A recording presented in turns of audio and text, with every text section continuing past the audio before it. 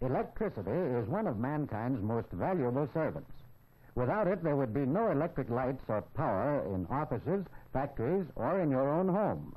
Even this motion picture you're watching would not be possible. People have become so accustomed to electricity and the many conveniences it provides that they give little thought to the tremendous amount of work necessary to make it possible. After electrical devices are produced, their installation and maintenance provides work for a large group of mechanics who are electricians, although they commonly are described by various names according to the exact work they do. Electrical wiring within the walls of houses and other buildings must be installed properly, according to the fire insurance underwriter's code, in order to prevent injury to people or damage from fire. If you were to follow the electric wires from your house to the street or alley, you would find that they connect to a transformer, which changes the voltage to the proper pressure for use in the home. In cities and larger towns, many of the lines are run underground, along with sewer and water mains and other utilities. Larger transformers change high voltage electricity to a pressure that can be carried safely on city streets. The high voltage electricity may be received from a high line which runs across country from a distant powerhouse. The handling of high voltage electricity is more specialized work than handling low voltage. Especially designed tools and materials are used, and workers are especially trained for it. In this way, the danger has been taken out of the work. In the power plant, the generators, driven by steam turbines, water power, or engines, generate the current, and electrical workers are needed to maintain and repair these generators and their controls. From the generators, the current is distributed through a switchboard equipped with many safety devices. Electricians, who are usually called mechanics, repair smaller generators, such as the ones on automobiles. The replacement of bearings and the rewinding of field and armature coils is often part of repairing both large and small generators. Closely associated with generator repair is the maintenance and repair of motors and their controls. Automatic controllers are used to regulate the operation of electrical motors and machinery in railway shops, steel mills, packing plants, and many other industrial and manufacturing plants. In many factory electrical repair departments, and also in specialty motor reconditioning shops, motors are torn down to the bare castings. New bearings are put in, new coils made and installed, armatures rebuilt, and the whole job refinished so that it hardly can be told from new. In operating efficiency, these rebuilt motors are generally as good as new.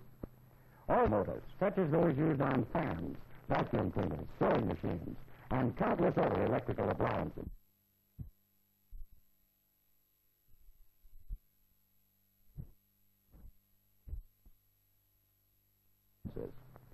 Still another important job of the electrical worker is the repair of toasters, irons, electric ranges, and other heating and cooking devices. If you have business ability, you may be able to establish a repair shop of your own. The installation and maintenance of various types of illuminated signs also provides work for the electrician. The electrical equipment which controls and operates the signs, such as this sign flasher, must be installed and then kept in adjustment and repair.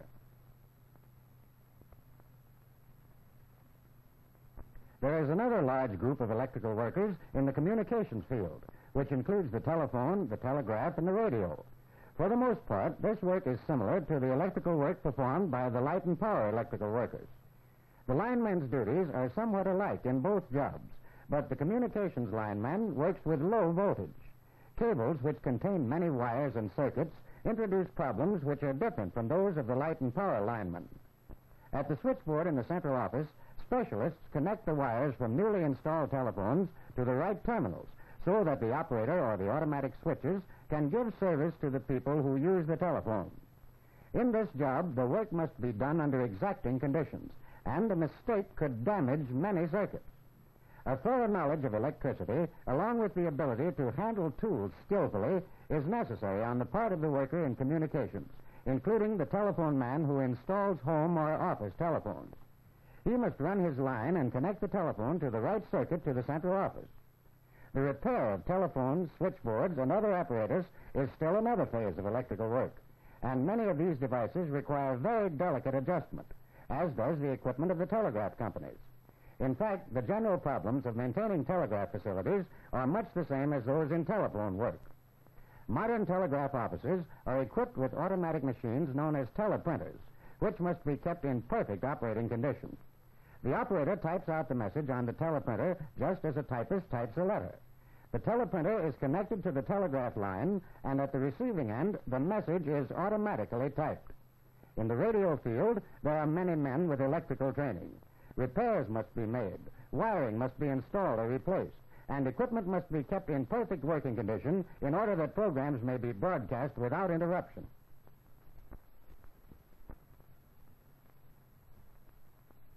Much electrical power is used in the field of transportation, and although fewer streetcars are to be found than in former years, in many places they are being replaced by trolley buses, which take their electricity from overhead trolley lines. Electric interurban, subway, and elevated trains provide jobs for the electrician in the maintenance of equipment. These cars operate on the same principle as do the streetcars, having powerful motors mounted on the wheel trucks. Electric current is brought to the motor through contact with a third rail or an overhead trolley line, either of which is connected to the power station at some distant location. In some parts of the country, entire trains are pulled by large electric motors instead of steam. Many railroads have put into operation trains which are electrically driven by diesel units installed in the power cars at the front of the train. The diesel units burn fuel oil to provide power to turn the generators. The generators, in turn, are connected to the motors on the driving trucks. Such trains are entirely self-contained, requiring neither trolley nor third rail. Similar to these trains in their principle of operation are diesel-electric buses, which are becoming increasingly numerous in different parts of the country. And there also are diesel-electric freight trains. All of these developments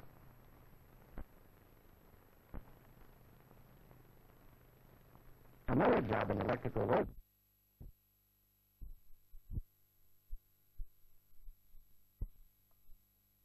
which is very interesting, is that of the troubleshooter, who uses modern scientific instruments in checking electrical equipment.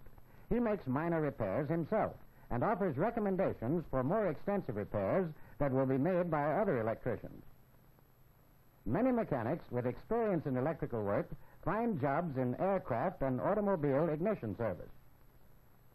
Electrical engineers continually are working out new uses for the photocell or electric eye such as devices which open doors, and those which count pedestrians and vehicles in traffic, and others which count assembly line products and reject imperfect ones. These electronic control systems are installed and kept in working order by electrical technicians.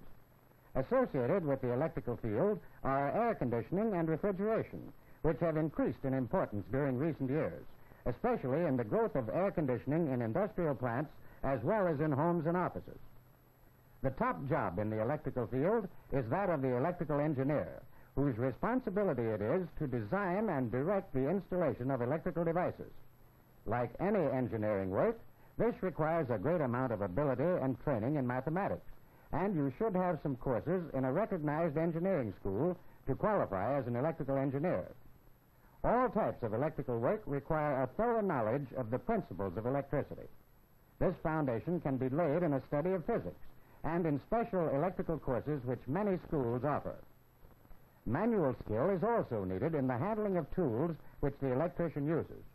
Some companies in the electrical field will train people for specific jobs if they show ability. Correspondence schools offer theoretical work in the various electrical fields, and there are many reputable vocational and trade schools with good equipment in which a young man who is mechanically inclined can get both theory and practical training. Such schools should be investigated thoroughly, however, for there are some which are not first-class institutions.